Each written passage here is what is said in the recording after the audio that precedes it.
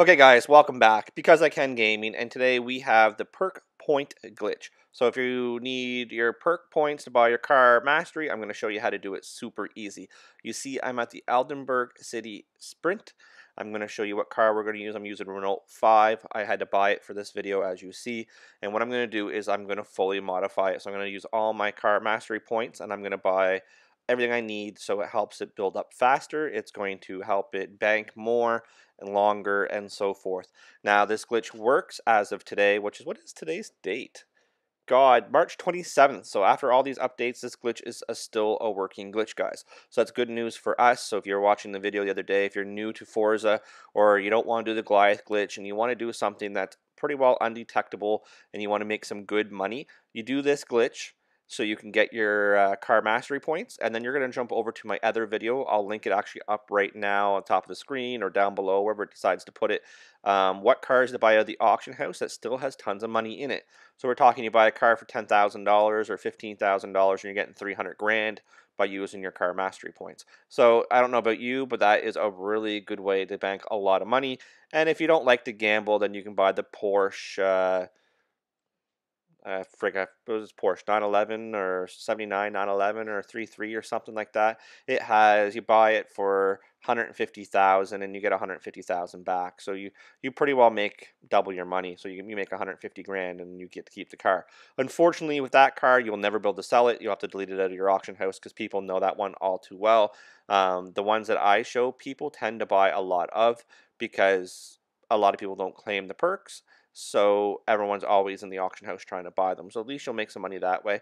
So I prefer to gamble. I'm a gambler. So what I'm going to do is I'm going to go in to the race. I'm going to go to custom events and I'm going to pick trending today. And I'm just going to find one that says, you know, perk glitch or points glitch. There's tons of them up there, guys. I checked today. It's still working. So it's going to be a one lap race. It's going to be kind of glitchy and uh, if you play around with it, you might be able to get it so it banks so you can go AFK. Um, I haven't done it myself, but as you see in the video, it was banking for me. And you know that's what I would prefer. Don't try, and I gotta can't stress this enough. People messaged me before when these videos were up, and they're like, oh, "I got like five million perk points in one go, and I only got ten points." Yes, it will cap out at ten. So you want to make sure you don't get too many points because it's just a waste of your time. That's why I'm talking about banking them. If you set yourself in the proper spot, after a while they'll bank. So you'll get like 15 or 20,000 points each time and then they'll they'll collect into your perk your car mastery and then it'll continue going again. That's what you want if you're going AFK. If you can't get it AFK and again, I haven't tried to see if AFK will work, which means away from the controller.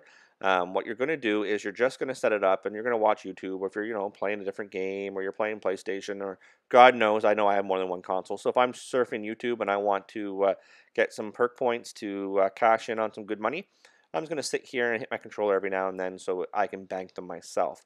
Which just means I'll uh, wait for it to build up to, you know, 70,000 times 5, and then I'll move my car a little bit so I get points. So here's your last two checkpoints, guys. You see these guys are already respawning. So I'm driving by. I want to respawn just to show you where I'm at. And all you're going to do is you're going to back up until the numbers go away. So as you see here, I drove past the second last checkpoint.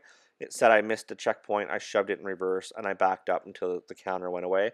And as you see now, I'm getting double passes, triple passes, clean. I'm getting everything and it's going. So that's what you want. This is your car mastery. So as you see, it is banking right now. It's going up and going up and going up. What you want, boom, you see how that bank, that is what you want technically. Because if you keep it like that, you can just go, you know, plug your controller in, set your Xbox off power saving mode, and then you can just walk away from your controller. Make sure you put a rubber band around your controller so the game thinks that you're trying to steer, steer your car. That way it doesn't kick you guys from uh, being idled for too long make sure your batteries are pulled out, stuff like that. You all should know how to go AFK by now, especially watching my channel. Now, good thing is if you want to bank them faster and like you're watching YouTube and you don't want to leave this AFK, you can just back up, get closer to them, and you'll bank it faster. So you'll get more points in a faster duration. But doing it this way, you're going to need to make sure that you're actually watching it. That way you can move it yourself each time to uh, get them to go into your car mastery. The only downfall with this is it's very glitchy you guys are going to have an issue with this as you see that if I move my car, which I'm going to do, it's going to say I missed a checkpoint. Then you got to mess around again with putting your car back in the same spot. So It is a very glitchy race, guys. So that's why you're you're glitching out your your car mastery and getting more points. But it's well worth the time to take. As you see here, it respawned at me here. I just want to get around, get close to them, so I'll bank my points faster. And I'm not really banking them faster. I'm building them faster because I'm closer to them. I'm getting more passes. I'm getting you know more triple passes and stuff like that by just sitting here. But again, the closer you get, the less likely it's going to bank them for you. So you got to physically sit here and watch this. That's why I like to show you the first step first. And that way, if you try to go AFK, it should work. But again, make sure you play around with it yourself. Make sure you get your car set up in the proper location. That way, when it comes time, you know yourself that it's banking your points for you. So like this, guys, it works as you see. So this is an awesome glitch if you're new to the game, or even if you're old to the game and you didn't do the Goliath glitch, or by any chance if you got banned from the Goliath glitch and you have to start over, this is what you're going to need to bank some money. So again, I will post up the video right about now showing the the auction house, what cars to buy that have tons of money in it, guys. There's tons of them out there. Um, I hope you guys have a great day. Happy glitching, and I'll catch you guys on the next one.